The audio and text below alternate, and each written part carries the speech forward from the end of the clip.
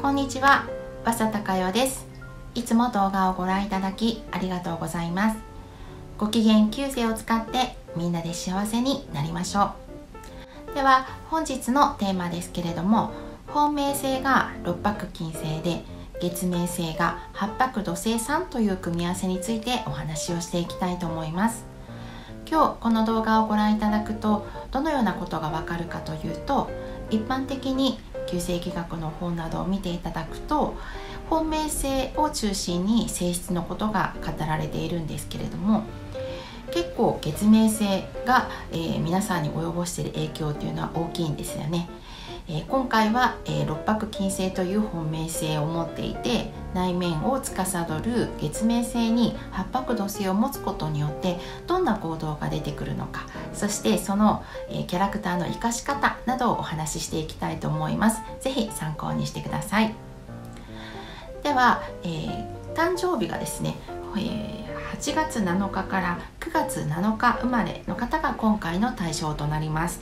6837というね4つの星回りを持っていらっしゃいます。で子供の頃に八白土星で、えー、大人になってから六白金星という星回りに移行してきます。ただ、えー、内面である八白土星子供の時の数字というのがその人の行動面に出てきますので今回はそれを仕事や恋愛健康などに照らし合わせてお話をしていきたいと思います。では、えー、仕事面からお話ししていきますと、まあ、六白金星さんっていうのは、えー、割とこうおとなしめで地味そして八白土星さんも見た目は結構地味な方が多いんですよね。なんか華やかな九死火星さんとか、えー、三匹木星さんとかねそういったキャラクターとは全く違う、えー、地味だけど、えー、堅実で真面目な雰囲気を持っていらっしゃいます。ですのでお仕事も基本的に真面目にコツコツやるタイプですね。で六白金星はま人の上に立って人を引っ張っていくだけのリーダーの素質があると言われています。で八白土星を持つことによって、まあ、さらに六白金星プラス八白土星で、えー、コツコツ度本当にこう着実にコツコツ積み重ねていくっていうことがとても、えー、強みになっている。そういう組み合わせになります。そして、えー八白土星っていうのは、えー、普段はこう目立たないんですけれども、えー、ここぞっていう時にねすごい大きなチャレンジをしたり大きな変化を、えー、恐れないっていうね本当に自分が決めたことに対しての行動力がすごい人なんですよね。ですのであのまあ、起業されるにしても、まあ、お仕事をお勤めなさるにしても本当にこう自分がやりたいと決めたことがあればそれに対しての情熱っていうのはね目立たないけれどもとても大きな力を秘めていらっしゃるそういう組み合わせになります。ですので早めにね、えー、そういったこう自分がやりたいことが見つかると早くから頭角を表してくると思うんですけれども割とペースはゆっくりめな人なので自分が着実にこう、えー、積み上げていってそしてここぞという時にね大きく、えー、まあ、チャレンジをしていくそういうこう性質を持っていらっしゃいます。ですので仕事では、えー、企業でも、えー、お勤めでもどちらでもいいと思うんですけれども自分自身がね本当に自分の性質を生かしてコツコツ積み上げることをやっていらっしゃったらチャンスは本当にいつでも巡ってくると思いますので是非、えー、コツコツ積み上げていただければと思います、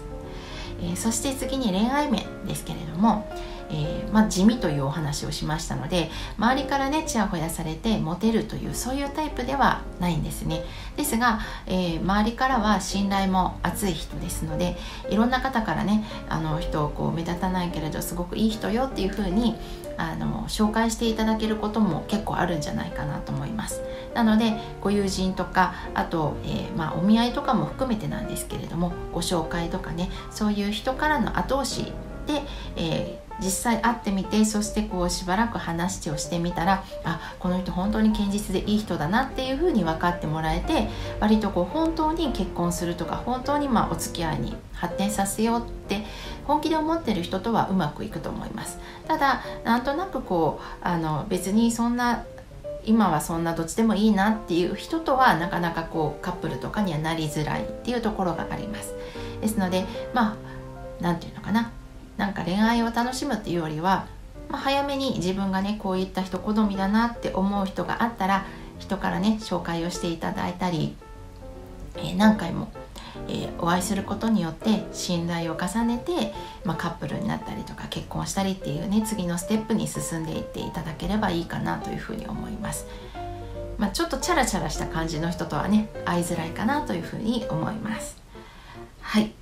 で、えー、うまく継続していく方法としてはやっぱりちょっと無口なところがあるのと頑固なところがあるのでやっぱりお相手の方とコミュニケーションを取ることっていうのは本当に自分で、えー、気がけていかないとなかなかこううまくいかない時が出てきます。ですので自分が普段無口なんだっていうことをよく理解して自分が考えてることをね、えー、まあ、例えば、えーまあ、夫婦であれば、えー、夜帰ってきてから必ず今日あったことを2人で話すとかね。